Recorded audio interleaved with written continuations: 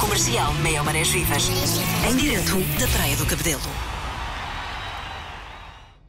Hoje é sábado, é o último dia do Mel Marés Vivas e a par de nomes como Rui Veloso, 30 Seconds to Mars, há também outro grande nome, os Ultraleve. Olá!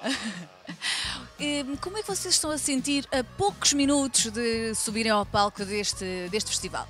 Com entusiasmo muito grande. Eh, para já porque é o nosso primeiro grande festival, eh, o primeiro grande festival de carreira e deste ano, não é? Porque começamos este ano.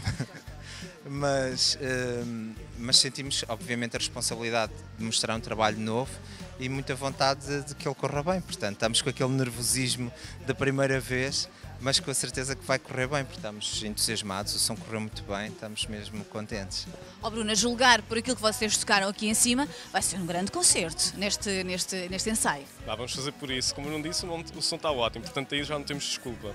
Não, acho que vai ser é um concerto muito energético e vamos esperar que consigamos atrair as pessoas para aqui para se divertirem connosco, porque acho que vai ser um bom concerto. Olha, já que tenha chamado a vossa música de pop colorida para combater os dias cinzentos, como é que é isto? Está mesmo no vosso ADN ou é uma missão que vocês sentem que têm para, enfim, para ajudar este país a seguir em frente? Nós temos a missão de fazer as pessoas felizes. O projeto Ultraleve é exatamente isso. Foi um projeto que nós delineamos desde o princípio, que teria que ser uma coisa otimista, teria que ter uma mensagem positiva hum, e teria que ser uh, uma banda que, que sempre que tocasse tornasse as pessoas mais felizes. Mas não é? sentimos missionários, não é? Tipo, missionários. Dizer, vamos dizer que sim, Sim, né? sim, sim, missionários nossa causa. Mas nós temos que nos sentir felizes e obviamente que ao sentirmos eh, nós, nós transmitimos isso. E a música é, é fixe, é simpática. Olha, por falar na vossa música, eu estou a pensar em duas músicas em particular, ah, o Poço de Manias e a Chata. Vocês utilizaram essa, inspiraram-se para criar essa letra com base na vida das pessoas normais ou foi com base na vossa vida?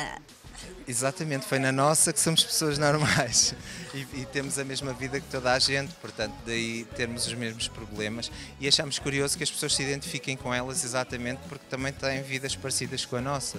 Nós não estamos a atirar para, para, para lado nenhum, nós estamos a olhar ao espelho, se calhar, e achamos bem que as pessoas também vejam isso em nós, porque nós gostamos de nos rir de nós mesmos. O objetivo era um bocado ter essa linguagem do cotidiano, é passar mensagens simples, falar sobre, sobre as coisas que acontecem dia a dia e que pronto, a gente se identifica com essas situações. Tá bem, vá, diz lá quem é a chata da tua vida.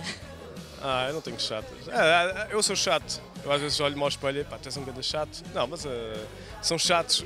Podem existir chatas, mas são sempre muito queridas e muito fofas para nós, portanto. E qual é a chata da tua vida? Deixa-me pensar, assim uma chatinha, muito chatinha. É, pá, aí, olha, eu não gosto nada de ser político nisto, mas olha, a Merkel é uma chatinha.